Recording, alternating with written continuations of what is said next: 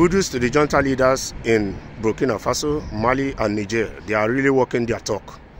Yes. So they have done another one. Yes.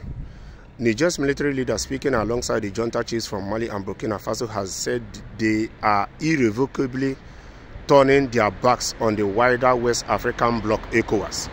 The three men are meeting together for the first time to cement an alliance created in the face of opposition from neighboring countries. Soldiers took power in Mali, Burkina Faso, and Niger in a series of coups from 2020 to 2023. All the three countries, which are now from the alliance of Sahel states, have been affected by jihadist violence, in part, in part a reason given for army takeovers. In January, they all announced a plan to leave ECOWAS, which is holding its own summit on Sunday. Speaking at Saturday's meeting in the Nigerian capital, Niamey, the country's leader, General Abdourahamane Tchiani, said that in the place of ECOWAS, the junta chiefs wanted to build a community of sovereign, sovereign peoples far from the control of foreign powers. So you see, that is why these three countries left the ECOWAS because they want to build something that is far away from organization that is being controlled by the West.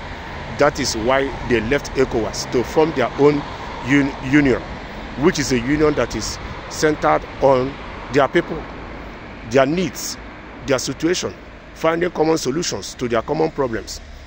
A community of peace, solidarity, prosperity based on our African values. Yes, this is a wonderful one. They have because African problem, African solution.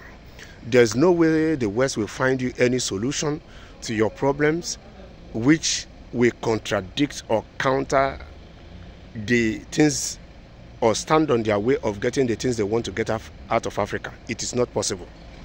Yes, any hype that is coming outside the shores of Africa that is coming from the West, you have to scrutinize it properly.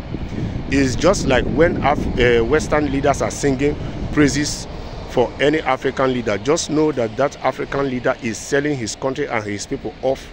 He's just a puppet in their hand because they will never sing praises for African leaders who is standing on their way. That is just the truth.